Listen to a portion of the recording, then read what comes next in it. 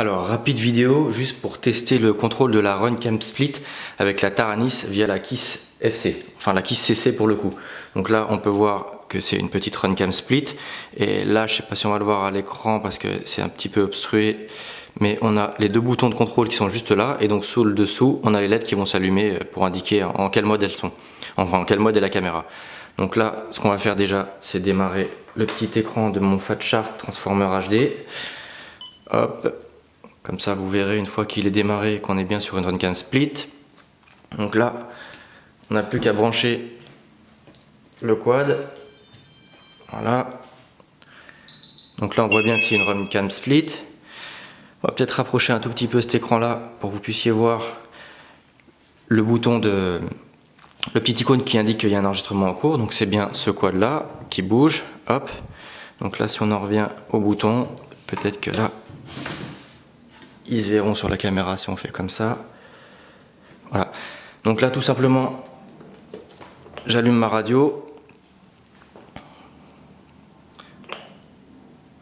Là, on vérifie que je suis sur le bon profil et c'est pas le cas. Donc là, on va sélectionner le bon profil, rapido. Hop, on quitte. Donc là, si j'active, on a bien le buzzer. Donc là, on peut voir qu'il n'y a pas de petit euh, point rouge qui indique qu'il y a un enregistrement en cours sur la split.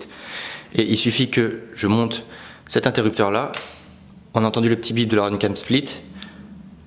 Et hop, voilà, on a le petit bouton rouge là qui vient d'apparaître. Donc a priori, on le voit bien à l'écran, donc ça c'est cool.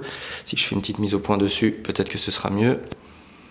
Voilà, et donc du coup, si on regarde là, sur la split, est-ce que ça se voit? Voilà, on a le bouton qui clignote, qui indique que la split est en train d'enregistrer. Donc là, si sur la radio, j'arrête l'enregistrement, ça bip, ça clignote plus sur la split, et là, on n'a plus le petit icône d'enregistrement.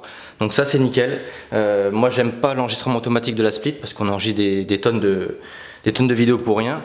J'aime pas mettre ça sur le bouton d'armement parce que je trouve que c'est cool des fois d'avoir un peu de prise de vue une fois qu'on est posé, c'est sympa pour le montage.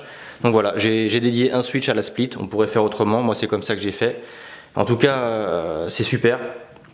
Euh, je tiens à remercier au passage euh, Alexander, aussi connu sous le pseudo de, Fedor, qui développe pour Kiss notamment l'interface de configuration, puis bah, qui, ajoute toutes ces petites fonctionnalités comme le, contrôle de, la split. Et moi je trouve ça vraiment vraiment cool. Hop là on peut relancer un dernier enregistrement pour le, pour le test. Et voilà, c'est parti, ça enregistre bien. Donc ça c'est génial. Euh, je sais pas si c'est encore dispo sur Betaflight. Euh, je suis en train de monter une conf Betaflight avec une split, donc on, verra aussi à l'occasion. Voilà, c'était tout pour cette petite vidéo. A plus, c'était Motard Geek.